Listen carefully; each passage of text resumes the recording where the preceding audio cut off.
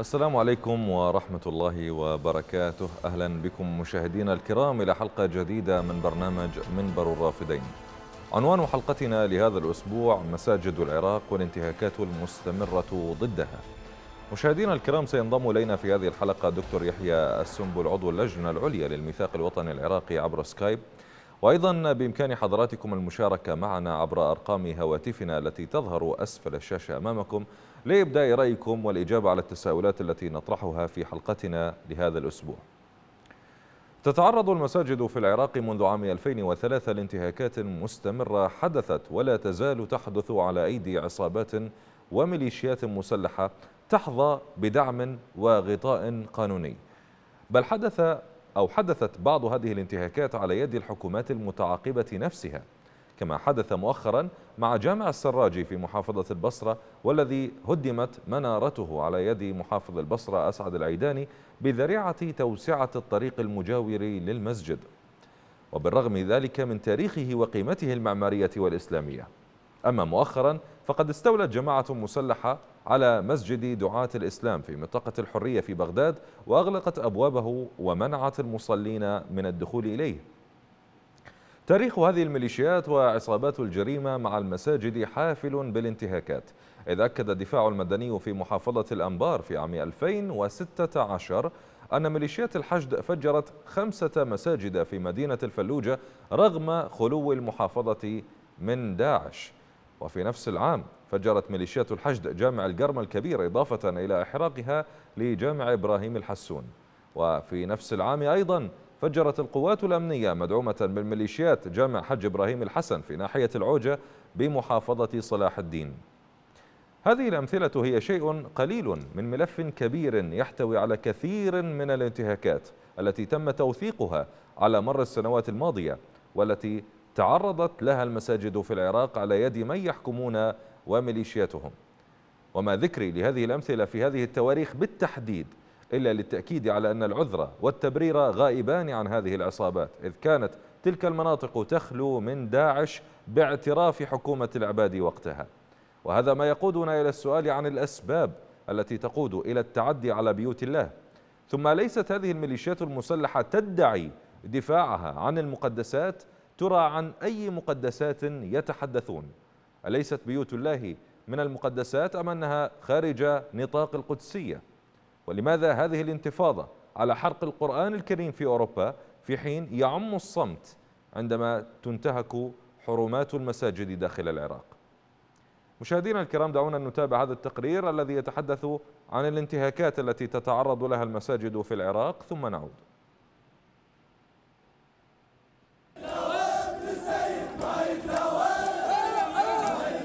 هنا في العراق يتظاهر هؤلاء ويقتحمون البعثات الدبلوماسية تحت لافتة الاحتجاج على حرق المصحف الشريف في السويد ودول أوروبية أخرى. لكن على مرمى حجر من هذا المكان تجري اعتداءات ممنهجة على بيوت الله من خلال السيطرة عليها أو هدمها كما جرى مؤخرا في جامع السراج بمحافظة البصرة في استخفاف واضح بالمقدسات التي يدعي هؤلاء أنهم يدافعون عنها وازدراء للتاريخ الذي يمثله هذا المسجد وسواه. آخر عمليات السطو على بيوت الله تعالى كانت في منطقة الحرية ببغداد حيث جرت السيطرة على جامع دعاة الإسلام في حلقة جديدة من مسلسل طويل اسمه السيطرة على أملاك الأوقاف السنية وفي مقدمتها المساجد التي تعرضت العشرات منها لعمليات حرق أو هدم أو استيلاء تحت ذرائع واهية يأتي ذلك بالتزامن مع حديث حكومة السودان عن تأسيس مركز للتعايش السلمي وحماية التنوع في البلاد وإشاعة الخطاب المعتدل بينما تتكرر الاعتداءات على مقدسات المسلمين داخل العراق دون أن تجد من يردع هذه الجهات المتنفذة على غرار ما فعلته مراجع النجف مثلا باستقبال مواطنين جرى الاعتداء على أراضيهم من قبل ميليشيات أنشئت بفتوى تلك المراجع وتغولت تحت كنفها. وبينما يوجه مقتدى الصدر دعوة لتبني حوار مع الدنمارك والسويد لنبذ التطرف وفرض احترام أعلام الدول.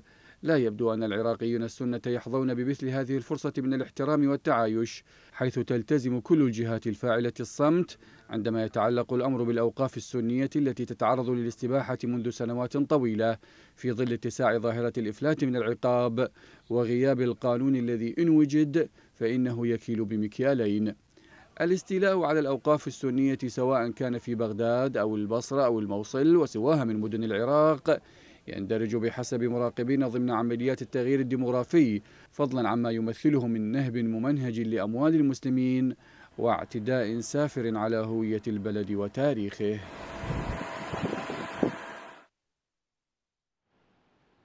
مشاهدينا الكرام نرحب الآن بالدكتور يحيى السنبل عضو اللجنة العليا للميثاق الوطني العراقي معنا عبر سكايب. حياكم الله دكتور يحيى.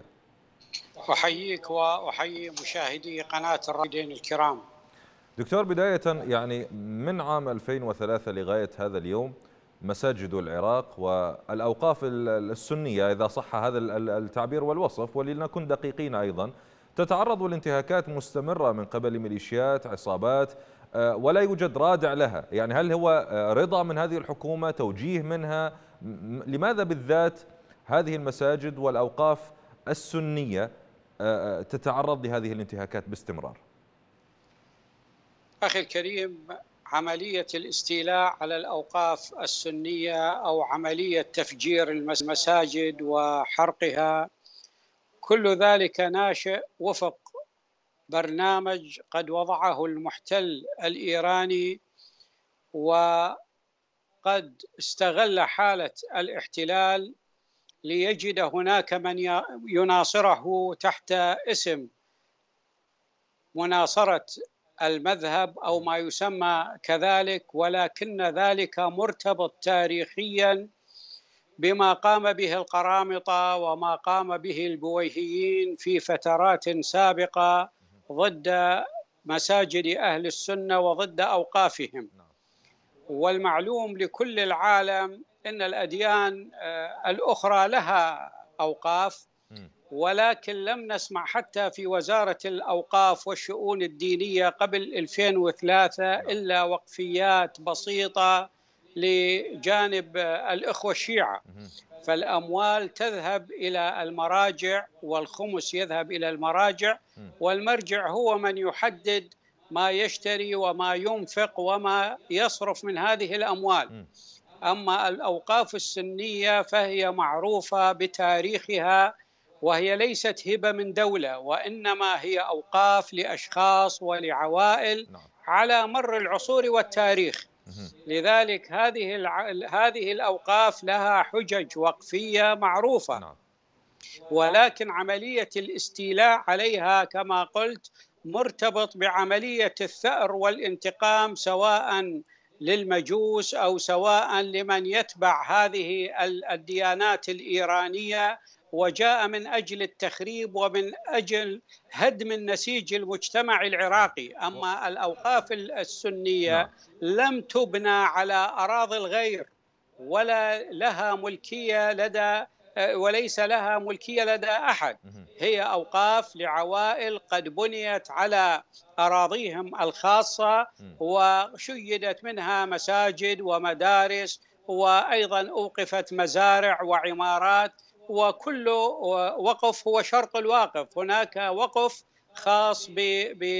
للمساجد نعم. وهناك من أوقف مزارع وبساتين لمقطوع لقاط... المقطوع السبيل نعم. كما يقال أو للمرضى أو للفقراء طيب يعني دكتور يحيى المساكين. نعم. لماذا لماذا يراد أن يجر العراق إلى الحديث ب... ب... بهذه الصيغة التي تحدثنا بها ربما قبل قليل أو فتحنا بابا لها ألا وهي التعدي على الأوقاف السنية بهذا الوصف و يعني الطرف الذي المعتدي هو يعني محسوب على على طائفة أخرى أو محسوب على جهة أخرى. يعني من الذي يقف برأيك خلف هذه المحاولات التي يراد منها إشعال الفتنة الطائفية وإثارتها في العراق؟ هذه الأمور أخي الأجندة الإيرانية في في العراق آه، تجد بأن عملية الاعتداء على الأوقاف السنية هي الطريق الأقصر من أجل إثارة فتنة طائفية. ومن أجل أيضا آه، حرف الأنظار عن ما يجري سواء من تحركات ضد النظام الإيراني أو ضد عملائه في العراق. نعم. والكثير بل 90% من أبناء الطائفة الشيعية هم لا يقبلون بالتعدي على المساجد. نعم. ولكن هناك 10% أو أقل ربما من هذه الميليشيات التي تتبع إيران هي من تنفذ هذا المخطط. ولم وأما الحكومة أو الحكومات بعد 2003 فهي ميزتها هي حكومات تمييز طائفي واضحة. نعم. يعني قامت بالتهميش والإقصاء والتخريب والتدمير والتغطية على كل الجرائم الطائفية بمباركة أمريكية وبمباركة الأمم المتحدة نعم. التي لم تصدر حتى بيانا حول ذلك. لذلك فهذا نحن نعيش الآن في عهد هو يمتد إلى عهد القرامطة والبويهيين. وهذا هو الحقيقة الأمر. المقدسات من هؤلاء المدعين. اللي يحملون السلاح اليوم باسم الحشد وغير الحشد. ذول اللي اللي اليوم آه، يعني يمننون العراقيين بحملهم السلاح ومقاتلتهم لداعش انه إحنا حررنا أرضكم وحررنا عرضكم وحمينا مقدساتكم. أين هم من هذه المساجد التي تنتهك حرماتها ليل نهار؟ هؤلاء أخي هذه هي عملية تجارة ليس أكثر. لأن هؤلاء وجوههم سوداء جاءوا تحت آه، بساطيل الاحتلال. هؤلاء لم لم يكونوا يوما مقاومين. لو كانوا مقاومين لقاوموا الاحتلال ولا, ولا وقفوا ضد الاحتلال. ولكن هؤلاء جاءوا ب آه، جديدة مشروخة آه، معلومة للعالم جميعا. هي للاستيلاء على الأرض بإعطاء المبررات بأن هنا داعش وهنا قاعدة. وكان هنا البعث وكان هنا كذا نعم. ولكنهم ارتكبوا من الجرائم ما يندى له الجبين. نعم. ما ما ما يعادل كل كل ما ارتكب من جرائم من من أطراف أخرى. لذلك هذه كلمة حماية المقدسات هذه للمتاجرة فقط. أما هم هم من قام بحرق المساجد في 2006 وإيران هي من فجرت آه، مرقد الإمامين الشريفين في في سامراء. وهذا معلوم لكل العالم اصبح أصبح الآن بأن إيران هي من تغذي الفتنة وأدواتها من هذه الميليشيات هي من تدمر المساجد وتدمر وتسعى لسرقة آه، أموال العرب السنة وهذا ضمن مخطط مرسوم لها قبل أن يبدأ الاحتلال. قد وضعوا هذه هذه الأمور من أجل إثارة فتنة طائفية ومن أجل أن يستمر هذا هذا النفس في سبيل أن المواطن أو الشعب العراقي ينظر إلى إلى قضايا جانبية في وقت إيران تمرر مشاريعها مع الأمريكان ومع غيرهم على حساب مصلحة الشعب العراقي وبحضور وبشهادة زور من أولئك الذين يدعون إنهم ساسه وسياسيين في العراق. طيب يعني آه، نعم. المجتمع العراقي الآن وتحديدا من آه، يرى أوقافه أو المساجد التي آه، يعني يصلي فيها يتم الاعتداء عليها بهذه الطريقة من قبل ميليشيات يغيب عنها القانون. يعني كيف يمكن أن آه، آه، يعني يسيطر؟ لا لا أستطيع حقيقة أن أقول يسيطر. كيف يمكن له أن يكبت هذا الغضب أو يحاول أن يتحكم بانفعالاته في ظل في ظل هذه الضغوطات والاستفزازات المستمرة؟ حقيقة عملية الخذلان الكبير لأهلنا في في العراق والعرب السنة هم يشكلون الأغلبية المطلقة. ولكن آه، مع الأسف أن تقف جهات كثيرة مع جانب الاحتلال الإيراني لتنفيذ هذه الأجندات ضد مساجد أهل السنة آه، المواطن يعلم جيدا ويكبت آه، غيظه وغضبه لأنه يعلم المراد منها هو إثارة فتنة طائفية لتمزيق البلاد نعم.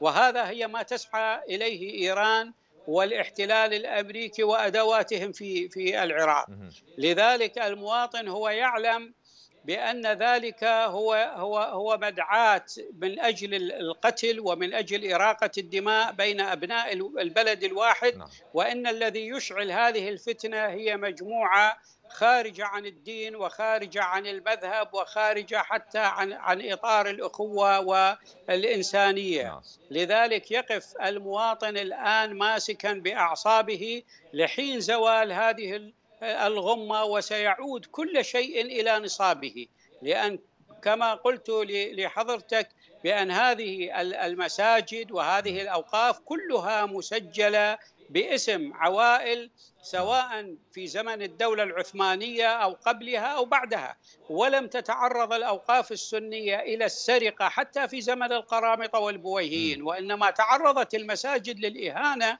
ومنع الناس من الصلاة نعم. ولكن الآن بعد 2003 لا تسرق ويجبر آه، ملاحظ التسجيل العقاري على تغيير جنس العقار صحيح. وعلى سرقة هذه العمارات والمزارع ومع ذلك فهذه لن تذهب لأن أهالي هذه العقارات وهذه الأوقاف هم مسجل يحملون هذه الوثائق بما يؤكد ملكيتهم لها وسيدفعون هؤلاء ثمن كل ما اقترفوا نعم. سواء ذهب المسجد أو ذهبت الأرض الأرض سوف لن تتحرك من مكانها ولا المسجد نعم. ولكن هذا الشخص الذي قام بالاعتداء والسرقة والتنكيل وسرقة الموارد لهذه الأرض أو لهذه العمارة سوف يدفع الثمن رغم أنفه. طيب نعم. أعود لحضرتك بعد قليل دكتور يحيى. نستمع لرأي السيد أحمد من ألمانيا. تفضل يا أحمد حياك الله. بسم الله. السلام عليكم ورحمة الله وبركاته. وعليكم السلام ورحمة الله وبركاته. حياك الله. أخي أوقاف السنة مستباحة الحقيقة وأنا ما أعتب على الناس اللي يستولون عليها على الميليشيات اللي تستولي عليها ولكن أعتب على من يدعي أننا شركاء في الوطن وأننا إخوة وأننا إخوتنا في الدين والوطن وأنفسنا. أين هم؟ أين هم من كل ما يحدث لأبناء السنة في العراق؟ وكما قال الشيخ علي يقول العراق ما بي السنة يقول ما يسوى فلسطين أنا ما بدي أقول هالحكي هذا. م. أنا بس أريد أوجه كلامي للإخوة العرب للإخوة أبناء عمومتنا وخوالنا. أنا خوالي شيعة. إذا أنتم تقبلون بهالضيم هذا وهالمشاكل هذه تصير لأخوتكم شركائكم في الوطن. فليش أنتم تستغربون من الظلم اللي واقع عليكم؟ أنتم جل أنتم جلبتم كل هذا الضيم للعراق وكل هذه المصائب للعراق؟ والآن أكيد أنتم تشتفون بأنه هذا الأمر يحدث للسنة. مع الأسف أقول أنه العراق الشعب العراقي بصورة عامة فقد بوصلته. أخي أنا أتكلم مع بعض الناس يقول لي شنو اللي اختلف ما بين حكومة المالكي والجعفري وال والعلاوي ويقول لي شوف لي واحد قائد ليش شوف لي واحد مدير؟ يقول هؤلاء كلهم مدراء وصفة المدير هو أنه يحاول تسيير الأمور آه، نعم. بالشكل الأفضل وليس وليس آه، تسيير الأمور بما يخدم المجتمع. آه، هذه السنة في العراق يعتبروهم أنه حجر عثر في طريق تشييع المنطقة لذلك إما يهجرون أو نعم. يقتلون أو نعم. يستشيعون يعني رغما على إرادتهم آه، قبل 200 سنة أنا قرأت كتاب قبل آه، سنة 63 هداليا أحد الإخوة الأفاضل قبل 200 سنة في النجف كانت أكو مدارس في النجف الأشرف كانت أكو نعم. مدارس للأحناف وفي الحلة وفي كربلاء وفي الناصرية وفي السماوة وفي آه، الديوانية وفي عفش وفي الكوت وفي الناصرية. أخي كل هذه المناطق كانت مختلطة سنية وشيعية وكانت السنة الأغلبية اللي موجودة بالوسط والجنوب. والآن تعرف شنو الحال. بعد 20 سنة أو 30 سنة أقول لك أنه أقل السنة تصير اقليه أقل من الأخوة المسيحيين اللي كانوا موجودين في زمن طيب. النظام السابق بالعراق. أنا أشكرك سيد أحمد من ألمانيا، مشاهدينا الكرام كما عودنا حضراتكم آه، ننزل إلى الشارع في كل أسبوع. نلتقي بالناس ونجري آه، استطلاع رأي نسألهم عن موضوع الحلقة لهذا الأسبوع. جئناكم ببعض الآراء من مواطنين عراقيين فيما يتعلق بالانتهاكات المستمرة التي يتعرض أو تتعرض لها المساجد ومقدسات المسلمين عامة في العراق ومن آه، آه، المستفيد من هذه الانتهاكات ولماذا هذا الصمت عليها من قبل الحكومة وغيرها؟ دعونا نستمع إلى بعض الإجابات ثم نعود. والله إحنا نستنكر يعني هذا الحدث يعني من نشوف جهات مجهولة لو جهات سياسية تحتل جامع وتستولي عليه. يعني هذا الشيء يحس بالقلب. تعرف أنت يعني هاي كلها بيوت الله وعالم تتردد عليها وصلاة وعالم. أكو ما تصلي دام تروح للجامع تتعنى له. تقوم له من النوم وتقوم للظهريه والعصر تروح. فهذا التجاوز ما يصير. يعني إحنا لازم لازم يخلوا له حد يعني ليش ليش ماكو مراقبة؟ ليش ليش بيوت الله صارت هيك يعني يا يجي يستولي عليها ناس ما تعرفها منين؟ أي اثنين ثلاثة صاروا يعني يتجاوزون على حرمة بيت الله يعني هو هذا. عندك أنت مثلا جامع دعاة الإسلام بالحرية ذاك اليوم صار وياه هذا الشيء وغيره وغيره ذاك اليوم بالبصرة هم نفس الحالة أكو جوامع وأكو شغلات. ما يصير يعني يا ريت يحطوا له حد يا ريت يشوفون هاي العالم.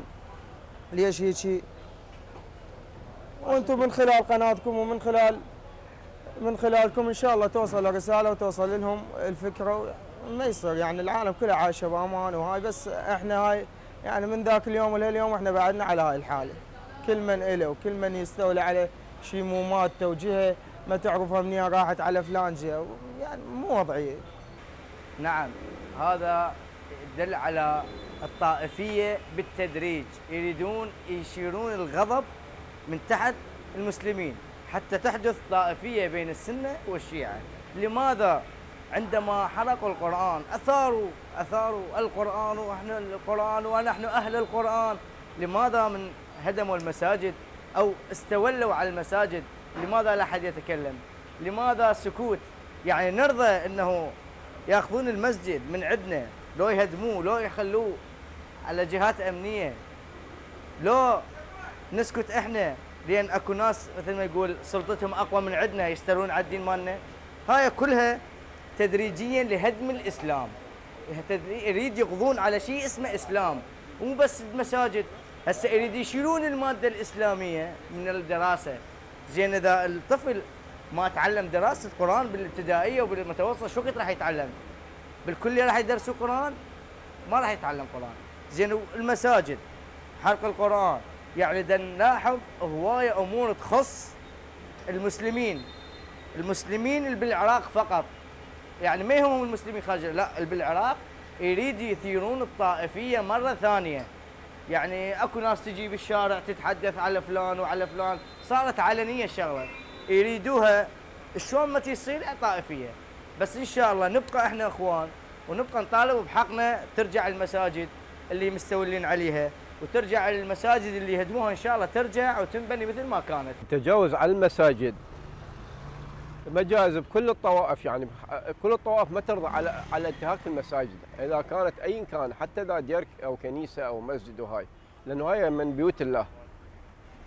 بيوت الله لها حرمة مهما كان لأنه أكو عالم تصلي بها أحلى من ننتهكها. ننتهك هاي البيوت الله. إذا إذا شنو خلينا احترام لبقيه من احترق القرآن حرقوا القرآن بأوروبا فرنسا أو أو الدنمارك أو السويد أو هاي. غضب الشعب وغضبت غضب المسلمين وغضب وشنو فرق القرآن عن المساجد؟ ماكو فرق. إذا انتهاك المساجد أو حرق القرآن هي كلها انتهاك حرمة الله سبحانه وتعالى وحرمة العبادات. ايا كان ايا كان عبادة إذا مسجد أو قرآن أو حتى الكنائس والاديره ما جائز التجاوز عليها أو حرق أو أو أو أو جعلها مقرات الأحزاب أو مقرات ايا كان اي أي حزب أو أي فئة. ما جائز التجاوز على المساجد لأنه هي بيوت الله سبحانه وتعالى والبيوت الله الكل للكل مو مو بس لطائفه معينة. ولهذا ما جائز هذا هذا العمل. دكتور يحيى استمعت حضرتك إلى حديث المواطنين في الشارع العراقي. يعني يقارنون يقول لك حرق القرآن في السويد أقاموا الدنيا ولم يقعدوها وحرقوا السفارة السويدية واقتحموها وقطعوا العلاقات وطردوا السفير. هذا لحرق القرآن. لكن عندما تنتهك حرمات المساجد بيوت الله التي يقرأ فيها القرآن وتتم فيها العبادة لا الموضوع بسيط وماكو هاي التظاهرات وماكو هذا الاستنفار أو هذا الغضب. لماذا؟ أخي الكريم آه، قبل أن يحرق القرآن آه، في السويد حرقوا مئات المصاحف في مساجد العراق عام 2006 هم أنفسهم الذين خرجوا للتظاهر. نعم. هذه التظاهرات هي لأغراض سياسية. وللفت الأنظار إلى أننا ما زلنا لدينا قوة بعد أن هزموا في الانتخابات. أو هزموا بعد أن فازوا في الانتخابات ولن تسمح لهم إيران ولا القوى السياسية الأخرى نعم. شركائهم في هذه العملية السياسية المقيتة أن يشكلوا حكومتها نعم.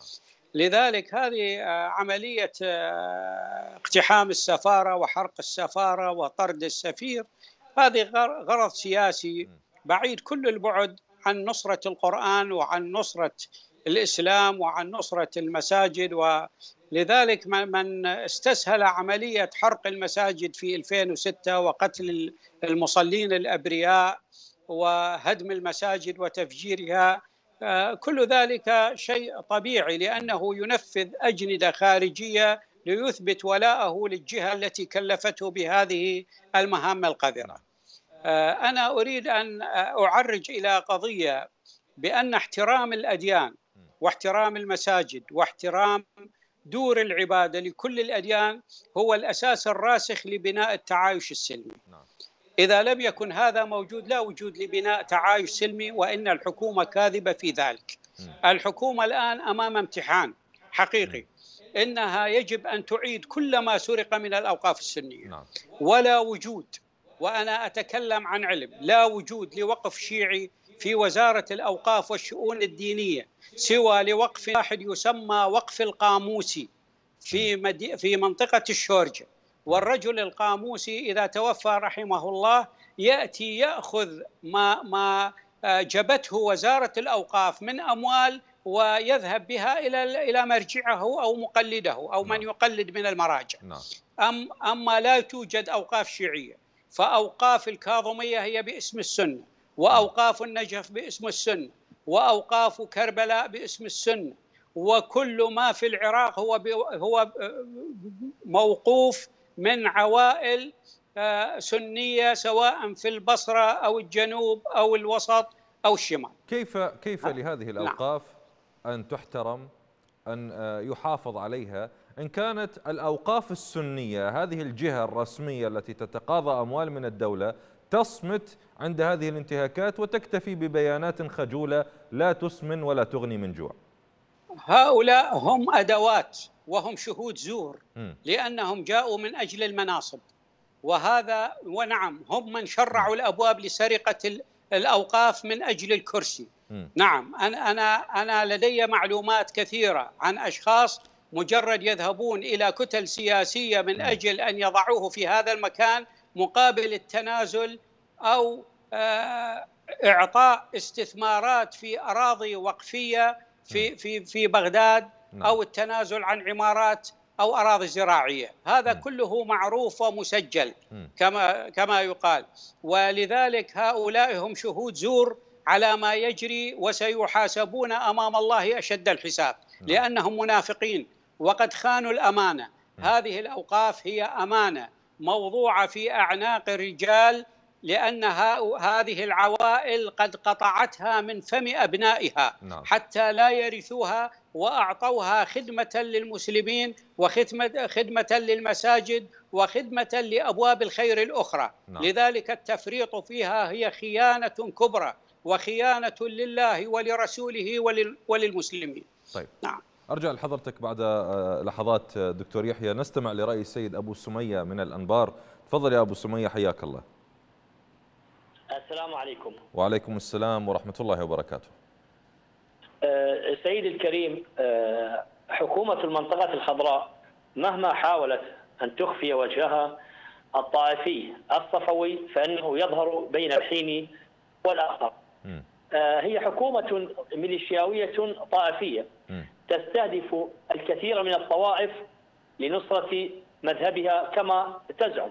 نعم. وبالنسبة لاستهداف مساجد السنة يا سيدي الكريم آه، حكومة محمد الشياع السوداني إذا أرادت أن يستتب الأمن وإذا أرادت أن يعم السلام فعليها أن تتخلى عن نهجها الطائفي. وإلا ماذا يعني بين الحين والآخر يتجاوزون على مساجد السنة.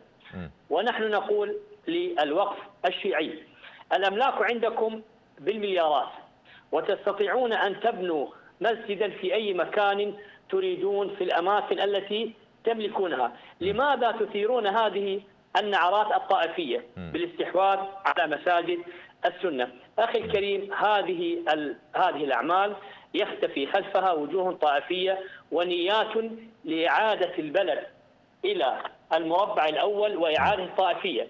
فعلى المعتدلين من الشيعة أن- ينتبهوا إلى هذا الأمر. نعم. وعلى أهل السنة ألا ينقادوا إلى هذه الفتنة الطائفية لأن حكومة المنطقة الخضراء لا تعيش إلا في ظل الأزمات وفي ظل الفتن. وشكرا شكرا. جزيلا سيد أبو السمية من الأنبار. نصيحة حقيقة مهمة وكلام مهم جدا أن يفهم المواطن ويعي خطورة ما يحدث وألا ينجر إلى آه، آه، إلى آه، هذه الفتنة. لأن من يقوم بها هو يريد هو الهدف والغاية أصلا من هذه ال- ال- الانتهاكات هي إثارة الغضب في داخل نفوس السنة أو غيرهم في سبيل أن تثار الفتن في سبيل أن يكون هناك شرخ جديد داخل المجتمع العراقي يفرق فيما بين الناس. دكتور يحيى طرح السيد أحمد من ألمانيا نقطة في غاية الأهمية ألا وهو تصريح خرج أو جملة ذكرت عن طريق مرجعية النجف السستاني. السنة أنفسنا. أين هذه الشعارات من أرض الواقع؟ السنة الآن مهجرون بالمخيمات آه، مدنهم مدمرة آه، آه، جوامعهم ومساجد ال- ال- ال- الأوقاف السنية تنتهك حرماتها تهدم هذه المساجد. يوجد انتهاك مستمر تجاه السنة. أين أنفسنا بالموضوع؟ حقيقة هو هذا السؤال يجب أن يوجه إلى مرجعية السيد السيستاني للإجابة عليه. لأن ما ما يجري هو يخالف تصريح المرجع الأعلى بالنسبة للطائفة الشيعية نعم. السيد السيستاني.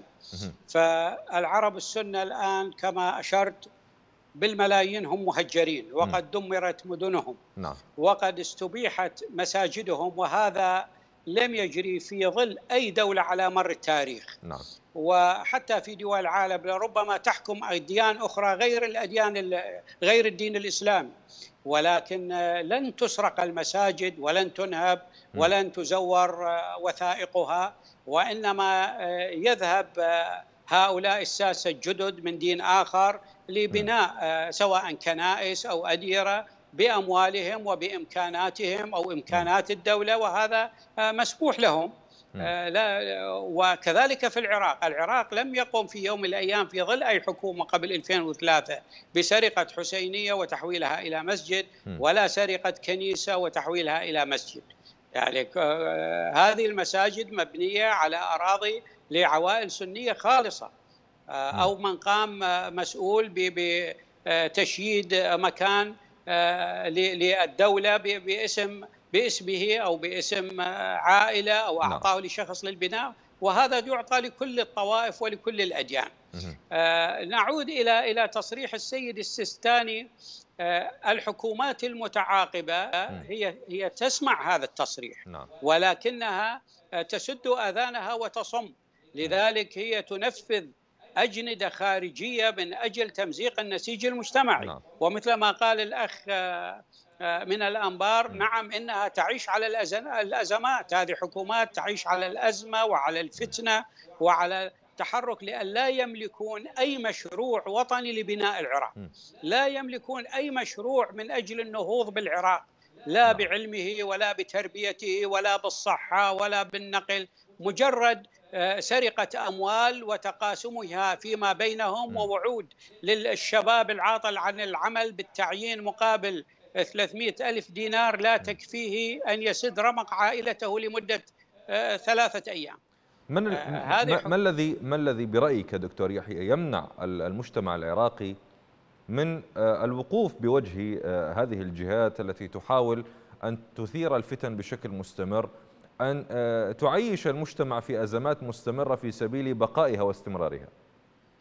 هؤلاء تست... هذه الحكومات أخي العزيز تستند إلى مخابرات دولية وإقليمية هي من أوقفتها وهي من حصنتها داخل ما يسمى المنطقة الخضراء وهي من أوجدت مراكز قوى كثيرة آه، تقف إلى جانبها وأوجدت لها موارد من من من دماء الشعب العراقي ومن أموال الشعب العراقي، لذلك أصبح الآن العراقيون جميعا بكل فئاتهم آه، يتضورون جوعا وتفور دمائهم من أجل التغيير ولكنهم غير قادرين على ذلك نعم. بسبب هذه السيطرة المخابراتية الدولية عليهم إضافة إلى وجود الأدوات الميليشياوية التي آه، تقتات على دماء الشعب العراقي وعلى موارده طيب.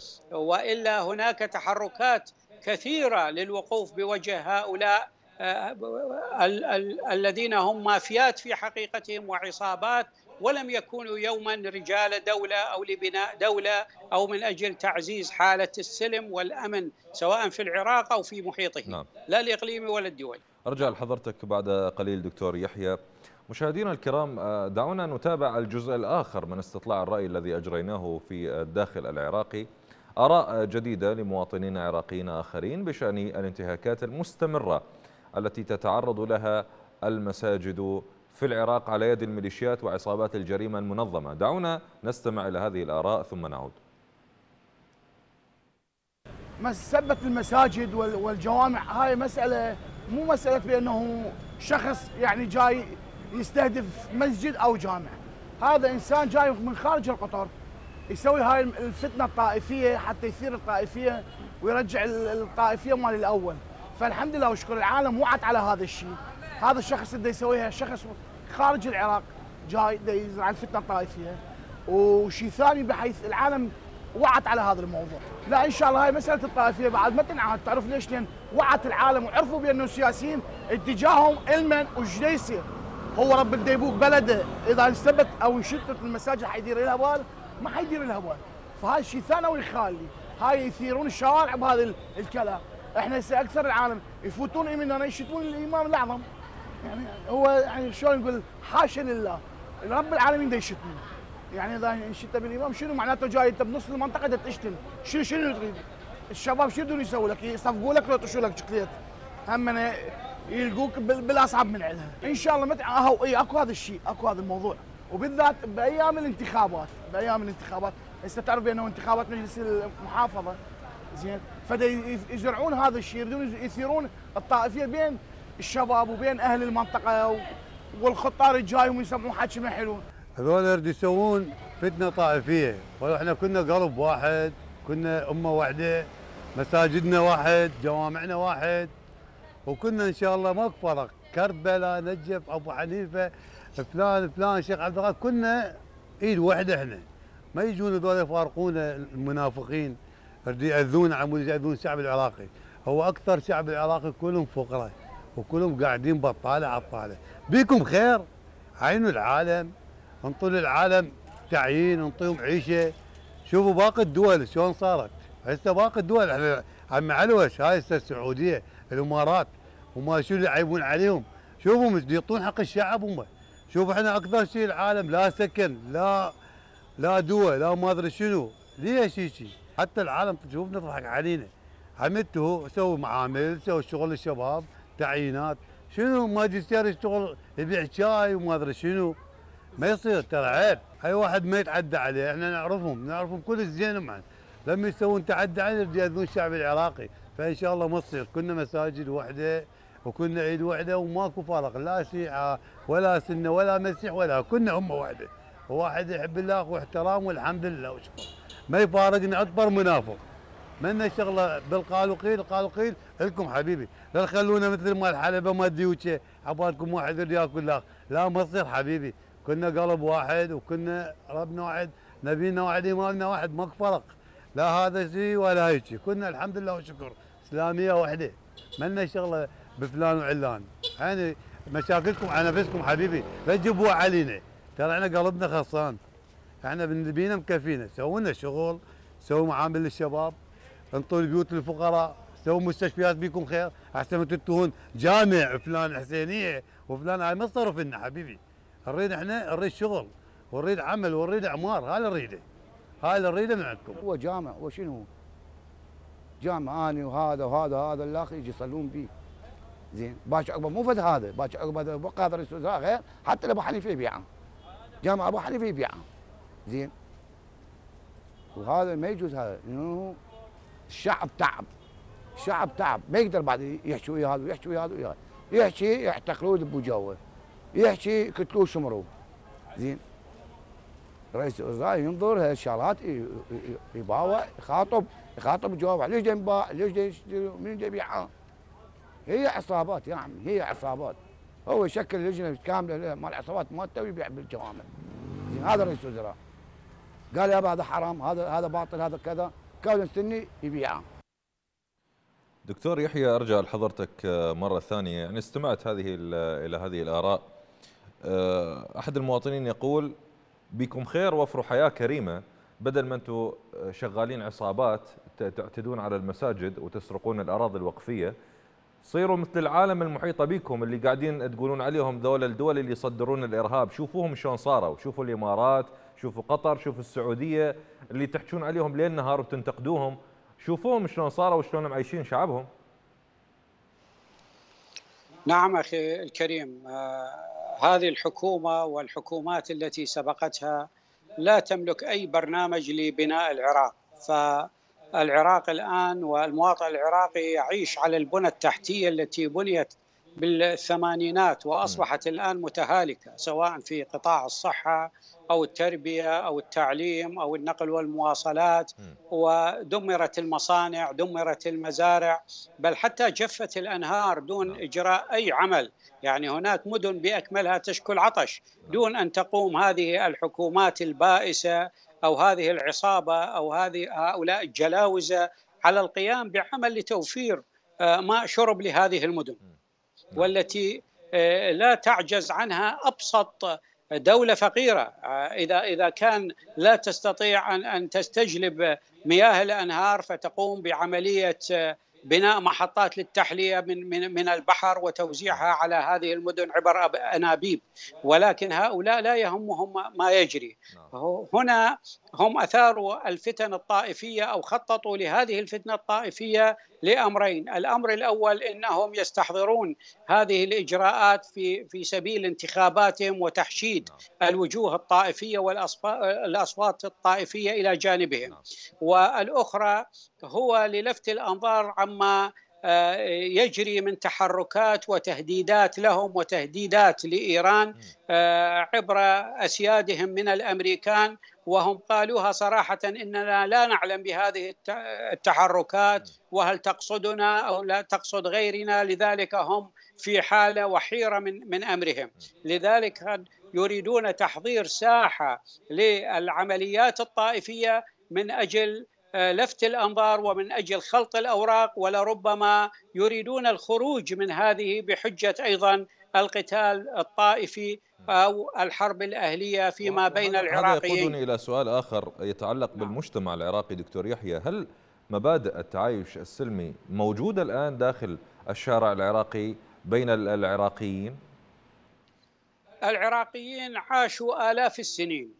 سواء في وادي الرافدين أو في دولة العراق إخوة متحابين من كل الأديان ومن كل الأطياف. وكل ما جرى بعد 2003 هو بأيدي خارجية وبأيدي الاحتلال.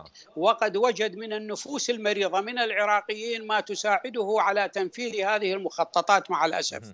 ولكن العراقيين في أغلبهم وفي أكثريتهم هم واعين لما يجري من مؤامرات عليهم بعد إن وجدوا ضنك العيش جراء هذه العصابات التي تتحكم بمصائرهم. فأصبحوا الآن آلاف من من العوائل تبحث عن عن كسرة الخبز في مكبات القمامة. إضافة إلى ما ما يقارب من 60% من شبابهم هو عاطل عن العمل وهناك من من هؤلاء العصابات ما يسمى أعضاء مجلس النواب والمحافظات وهذه الكتل السياسية التي جاءت في من خارج العراق وهي تنهب المليارات من العراقيين وفق السؤال نعم. الأخير دكتور يحيى بدقيقة لو سمحت في ظل الاستمرار بعمليات الانتهاكات هذه ضد المساجد ودور العبادة والأوقاف التابعة للسنة والضغط على المجتمع العراقي بهذه الطريقة آه، طبعا في ظل غياب القانون وحماية الحكومة لهذه الميليشيات هل تعتقد بأن هذه العصابات قد تنجح بأغراضها وأهدافها ألا وهي إثارة الفتنة؟ أنا لا أعتقد أنها قادرة على على على النجاح لأن العراقيين أصبحوا أكثر وعيا من من ما جرى عليهم في 2006 وخصوصا بعد أن تكشفت بأن كل منظمات الإرهاب والإجرام قد جاء بها المحتل بالتوافق مع إيران وان ما قام به من أعمال إجرامية وخاصة بتفجير مرقد الإمامين العسكريين آه، عليهما السلام. قد نفذته إيران وبأيدي حرسها الثوري المجرم. لذلك أصبح الجميع الأخوة من الشيعة قبل السنة على علم بما تقوم به هذه العصابات الضالة من نعم. أجل تدمير البلاد. أشكر حضرتك. شكرا جزيلا دكتور يحيى السنبل عضو اللجنة العليا للميثاق الوطني العراقي. كنت معنا عبر سكايب. مشاهدينا الكرام بهذا أصل وإياكم إلى ختام حلقتنا لهذا الأسبوع. أشكر حضراتكم شكرا جزيلا لطيب المتابعة وإلى اللقاء.